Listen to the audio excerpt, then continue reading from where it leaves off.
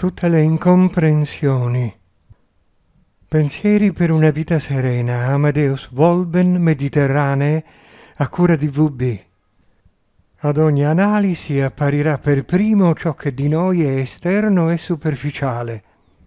Si comunica con la zona cosciente che, anche se in ombra, è più facile e a nessuno dovrebbe sfuggire. Si vedrà poi la parte più nascosta, quella inconscia, Commento. Quella inconscia che contiene tutte le incomprensioni che devono trasformarsi in comprensioni attraverso le reincarnazioni.